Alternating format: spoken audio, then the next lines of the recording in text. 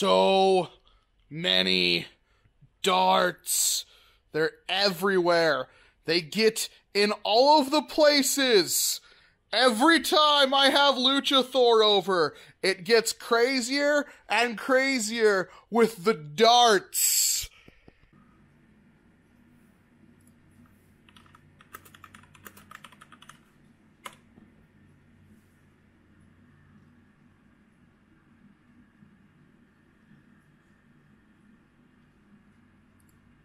What up, bros? I'm Frank. This is a video overview of my new dart net. I recently posted up a video on my Instagram, and I got a bunch of comments asking about its design and where I bought it and where they could buy one. So this is just a video overview of this thing. Matt, that looks like it's too long and complicated and too expensive. I'm fat and lazy. There's got to be a simpler way.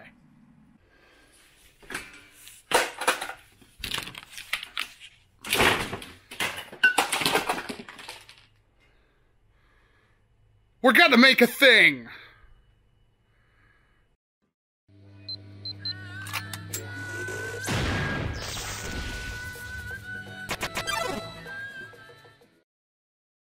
So this is gonna be like super freaking simple. This thing right here, Walmart mainstays folding laundry hamper thing. It was like six bucks, and then a little tiny bag of laundry to go with it. Like so, Walmart like I don't know, like eight bucks total, maybe.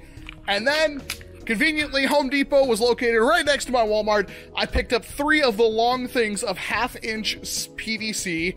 This was like I think two dollars, one eighty nine per length. I got three just to be safe. Three should be enough PVC. This is it cut in half because it wouldn't fit in my car any other way.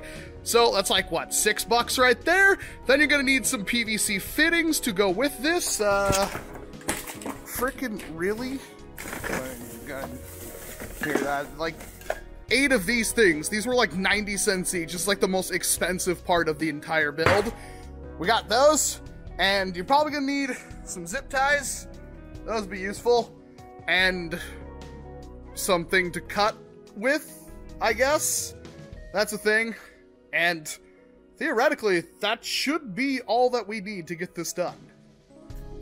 So step one isn't going to be that hard. What you really need to do is just like grab your PVC and the four lengths to make the height, cut them all to even. So whatever you want, no exact measurements. I kind of want mine a little bit taller, so we'll make it a little bit taller. But yeah, just cut it to whatever length, height you need.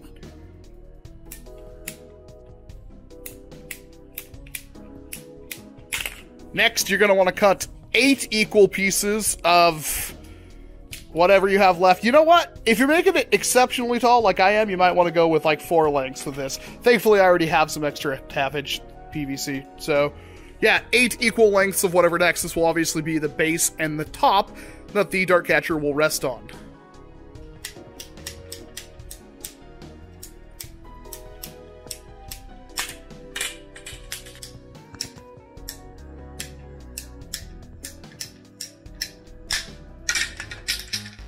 Much exact. Tight tolerances. Yes.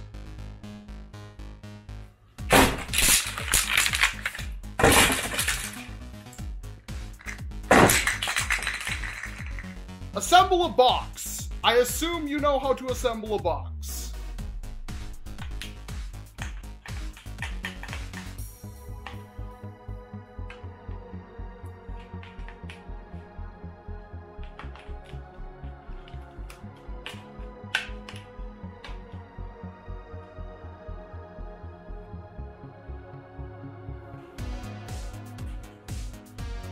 Stop. Hammer time.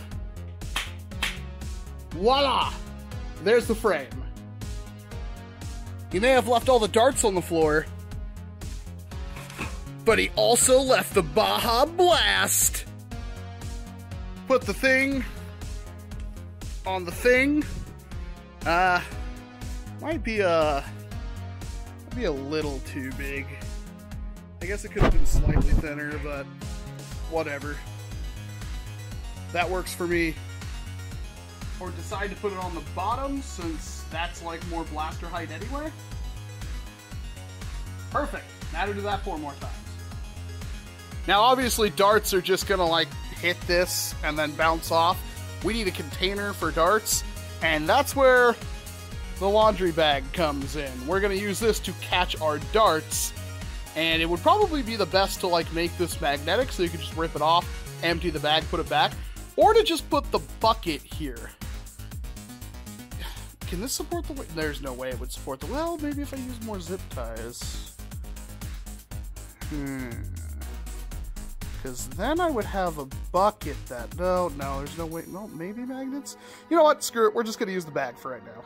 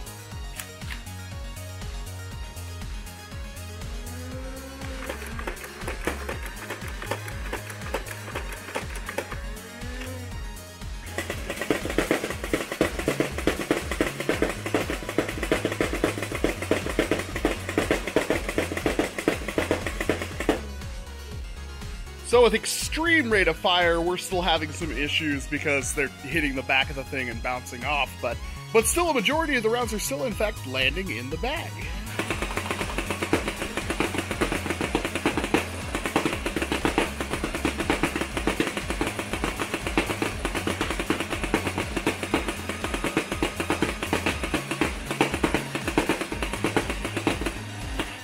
Fact, I would say like 99% of the rounds are actually landing in the bag. The ones that aren't are the ones I'm missing with. Good to know. Can it handle, say, super powerful long shot? Hmm. And one more just to be sure? Works fine. So these things are just zip tied to the roof of the cage right now. So basically what happens is if a dart hits that, it will bunch up then it will let go, which will absorb all of the kinetic energy, and just drop down into the bag. If it hits behind, like through here, it should just bounce off, hit the backside, and drop down. And these are just the little things that are supposed to clip right there. In fact, I could still clip it if I wanted to for whatever reason. We'll actually go to the back as well. So if you are just wanting to angle like rival rounds in there, you totally can. For what I paid to build something like this and the amount of time it took, I'd say this is adequate. I know Coops is like the end game, really nice, beautiful setup. I don't really have the energy, and I definitely had a hard time trying to find some kind of netting. I, looked at screen door material too, that was kind of the next thing I was going to use, but this was considerably cheaper, and for most people, this is going to be perfectly fine. Um, I mean, it's got a big enough entry point where it's really easy to hit shots in there. Maybe something to cover up the sides right here, like the little bit of fabric that was left over would be a good idea because those kind of stick out. And yeah, it will kind of bunch up some rounds right there. I could use a few more zip ties, I guess, to kind of clear that off. But otherwise, I mean, it works pretty freaking good for how little effort was put into it. So hopefully you enjoyed this one. If you do build one, let me know. If you have any questions or ideas on how to improve it that are relatively simple, because again, this was supposed to be simple, brain dead, easy, anybody could build this, let me know down in the comments section. But other than that, I'm Walcom S7. Thank you very much for watching this video, and of course, I hope to see you in an entirely different one. You gotta